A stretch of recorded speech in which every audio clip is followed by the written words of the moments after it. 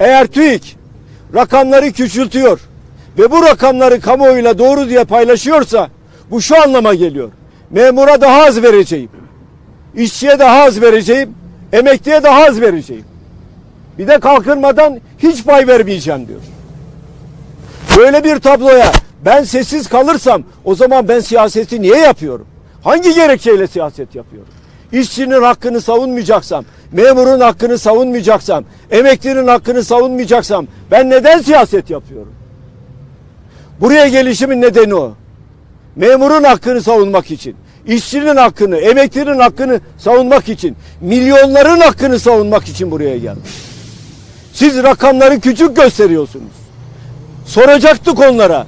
Bu verileri nereden aldınız? Kimlerden aldınız bu verileri? Hangi mağazalardan aldınız bu verileri? Biz de gidelim oralara bakalım. Değerli arkadaşlarım, milyonların hakkını savunmak bizim görevimizdir. Temel görevimizdir.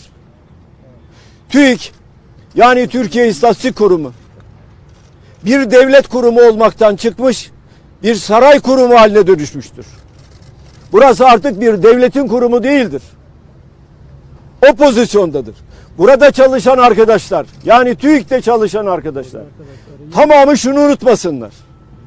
Hepinizin tabi olduğu yasa devlet memurları kanunudur.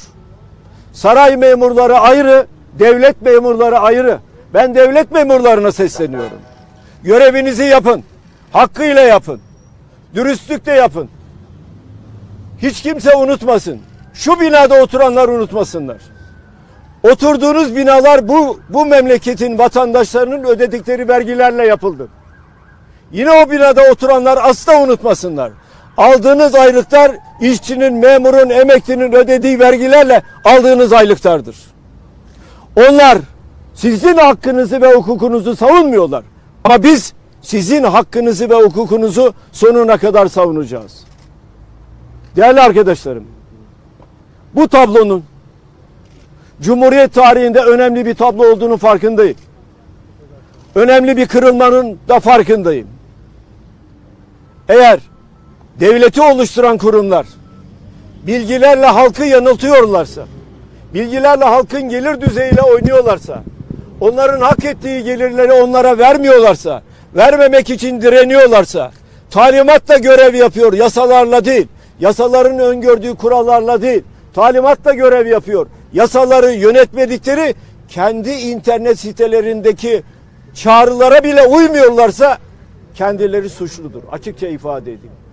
Suçludur. Kısaca söyleyeceklerim bunlar. Teşekkür ederim. Teşekkürler arkadaşlar.